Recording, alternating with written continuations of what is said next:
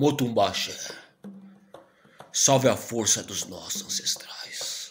Salve o diabo e nada mais. Dando continuidade a esse mesmo tema sobre a questão de de Lucifer, Lucifer dentro da nossa tradição, ser um título né, dado a Exu Rei.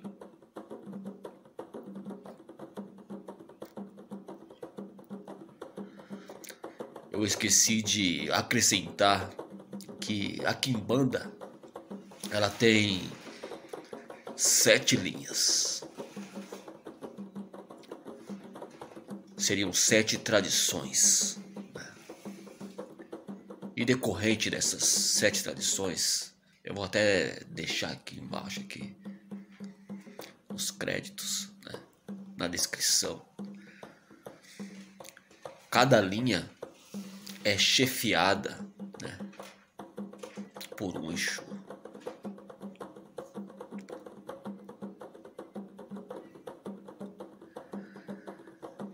Tudo é uma é tudo muito bem organizado existe uma, uma lei,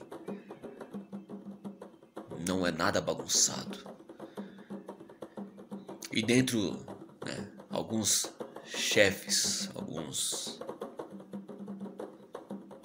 maiorais dessas tradições não incorporam.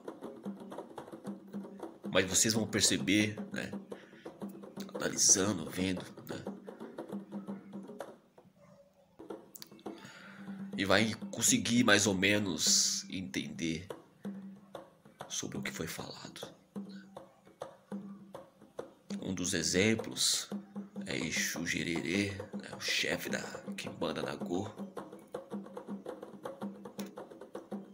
maioral da Kimbanda Nagô, que não incorpora, como Exu Rei e alguns outros. mas dá para ir entendendo. Né? Como eu disse, né? o objetivo é trazer um conhecimento, um esclarecimento. É lógico que muitas coisas decorrente do culto de Kimbanda, você só vai ter conhecimento, só vai poder se aprofundar realmente estando dentro do culto se iniciando dentro de uma tradição séria, correta, com um sacerdote correto, dentro de um templo correto. Né? E fora dessas sete tradições antigas, né? linhas antigas de Kimbanda, outros nomes são vertentes surgiu decorrente, né, principalmente da da Kimbanda na porque foi a Kimbanda que você estudando a história e tudo mais, você vai perceber que foi a Kimbanda que mais se proliferou em todo o território nacional.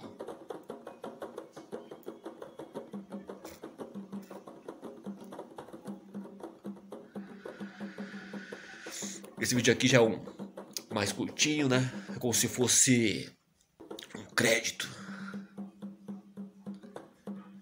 pra gente ir conversando, né? tirando aquelas dúvidas. Lógico que jamais vou vou poder trazer aqui fundamentos, né?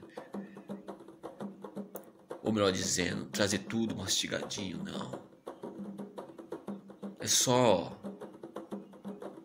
é, uma parte, uma, uma fatia do bolo.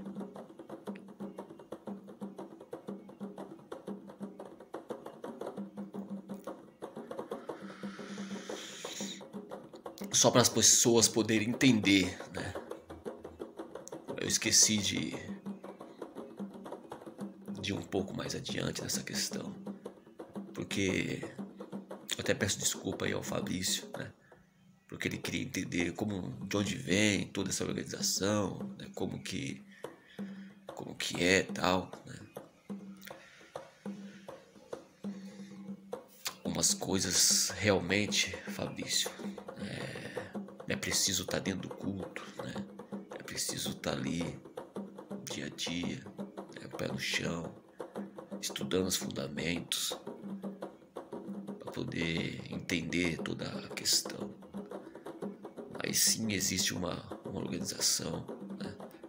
cada tradição ali tem o seu tem o seu chefe, tudo é bem muito tudo é muito bem organizado. Cada tradição ali tem o seu chefe. Alguns desses chefes não, não incorporam. Né? Alguns, o principal, né? não, já não vem mais na terra, mas tem uma falange que, que responde né? por esse, por esse chefe mas alguns nomes mesmo, infelizmente,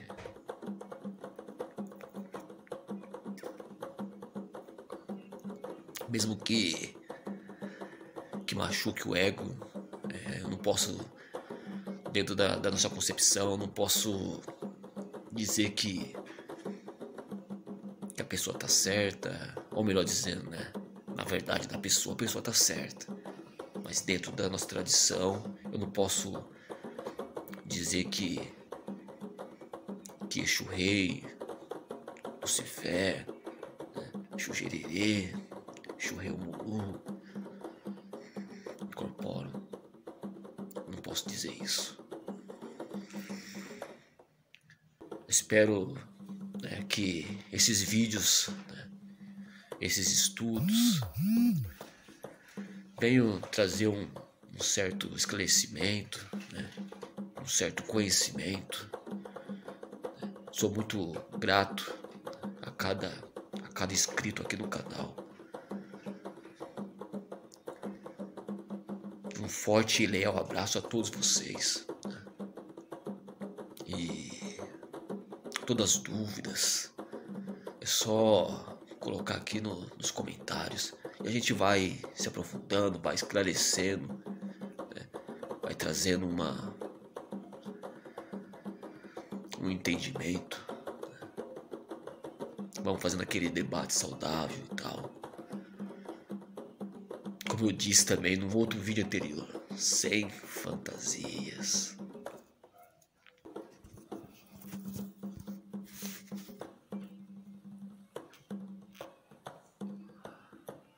Sem fantasias. Larueixo. Exu Mojo